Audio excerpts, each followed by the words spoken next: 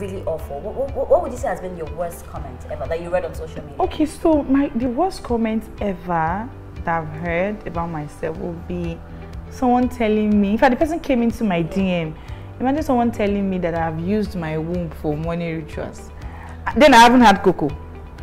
So when I had Coco, I'm like, hello, What is hello, somebody. No, that, that is my answer. Oh, wow. I, I swear down, like, and it wasn't like I was even bawling, no. Yeah. I was not bawling, no. My sister, I don't get money. Like I'm actually shocked. I don't get money. I did like this package. I'm packaging myself. Wow. So, you know, yeah. how- deli- uh, getting the top uh, top skin, it wasn't just overnight. I wasn't to, but you know, ah, You have to, you had to be strong. I had to. There are times that I've even thought of taking my own life. That was before I had Coco.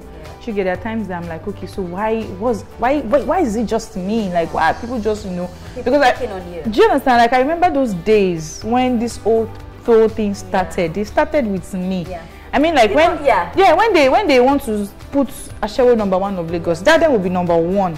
But I'm grateful to God today without doing so much, just being on my lane, doing my thing, being consistent, you know, focused on my brand, my Yeah. business, work, my daughter. Like things have just really been going on well for me that I'm super grateful to God for. And I feel like I'm a work in progress. I'm still, you know, evolving. Exactly. Yeah, so and, and, and we see that growth, and, and, and I think that's the most beautiful thing about you. Thank because you. the growth is out there for everybody to see. Now let's talk about the most amazing thing. This is the store. We're right here, Beauty by AD. AD. You know, I know you've spoken a lot about your products. We know how amazing they are and all of that. But how do you deal with the challenges of people trying to copy here and there? Hmm. hmm.